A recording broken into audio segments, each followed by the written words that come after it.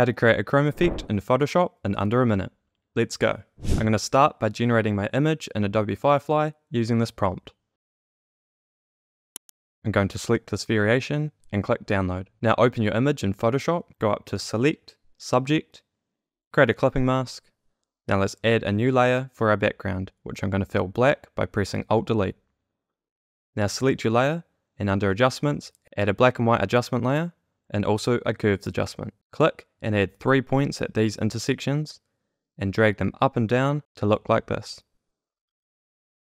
Now final touches, in adjustments I'm going to add a gradient map set to black and white for some higher contrast. And also under layers I'm going to double click my clipping mask and adjust feather to create this shiny glow.